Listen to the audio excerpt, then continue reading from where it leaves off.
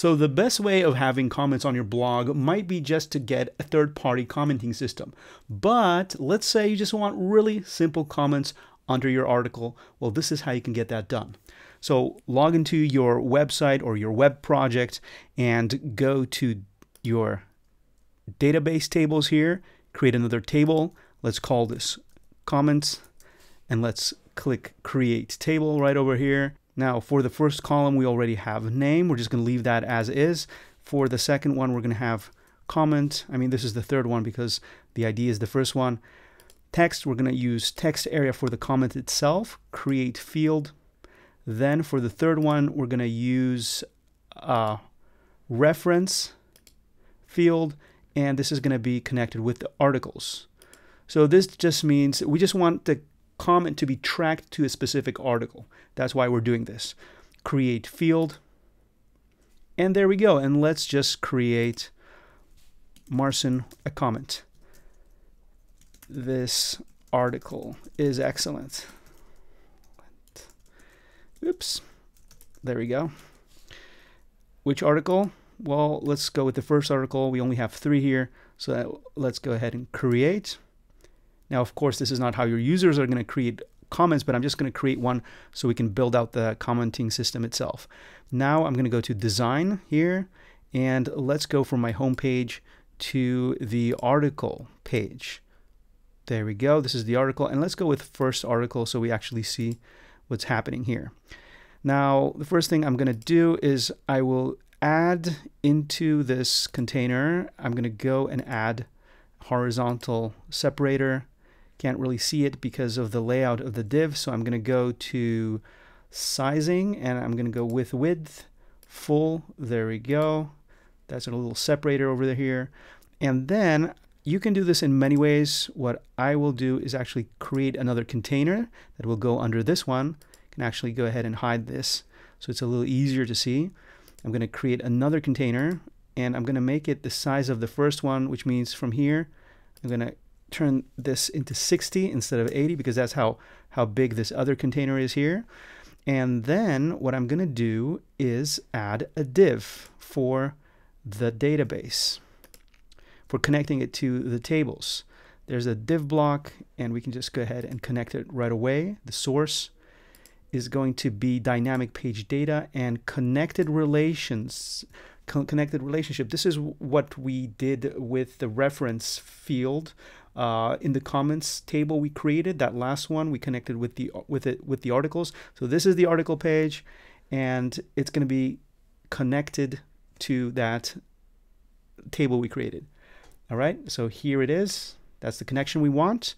And now I'm going to use a div just because I want to put two inline text elements here. That's one, that's two, and then I'm going to actually also add paragraph. This is going to be for the comment itself.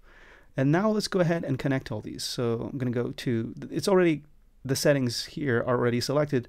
So I'm just going to change the key of this element to comment.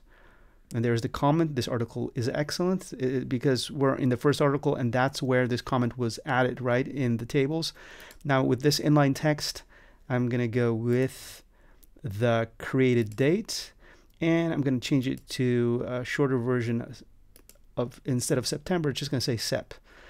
And with this first one, well, I'm going to use the name for this one. Let's go with key, name. There we go. Now let's go to design and let's change the weight to bold. There we go. Let's click this date field again and let's change the color to make it a grayish color. And there we go. We can also separate it from the comment a little bit by using spacing just really quickly. All right so we have one comment and we can go ahead and add another comment let's go to comments again. Plus button. Now let's go with Jill.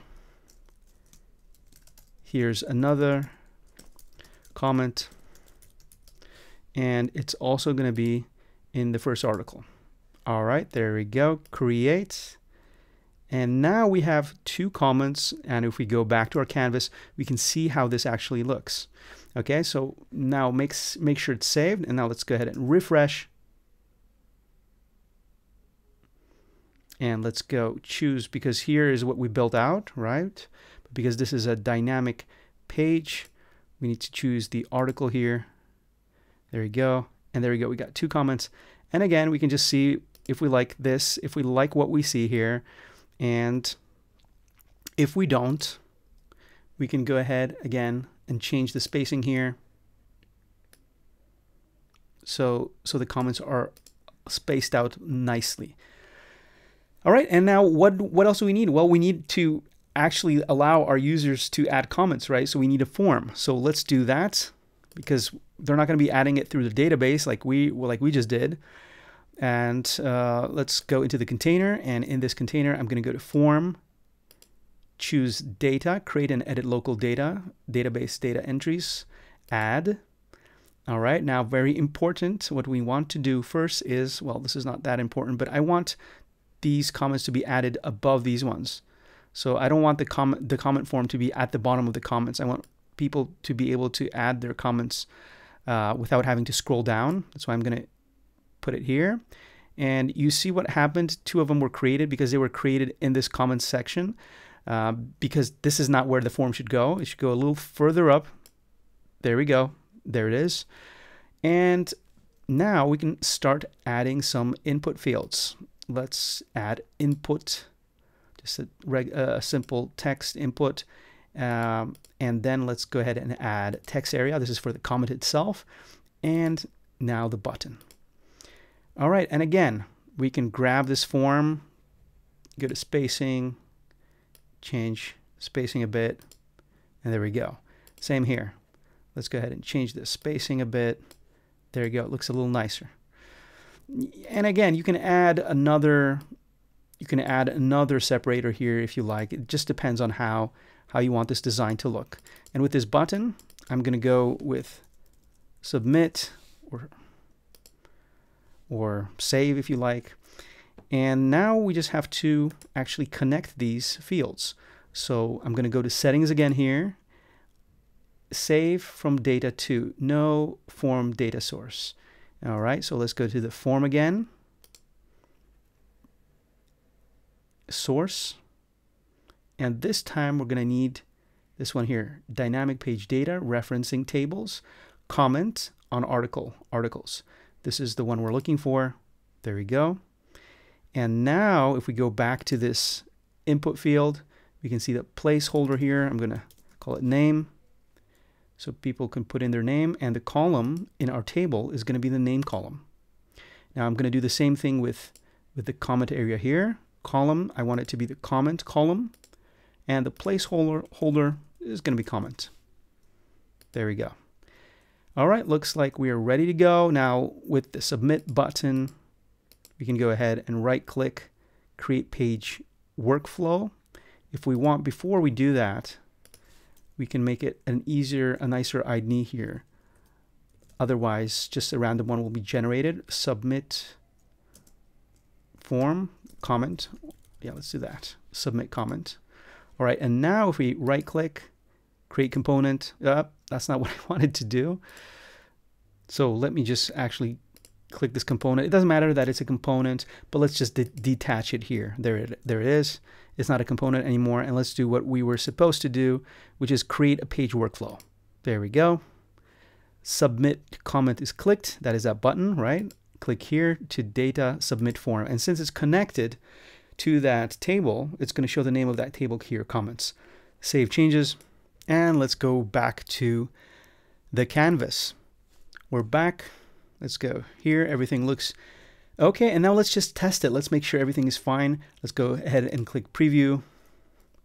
Scroll down. Joe.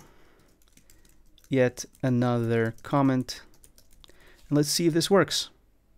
All right, let's scroll down and there we go. Yet another comment. And let's make sure these comments are not under every single article.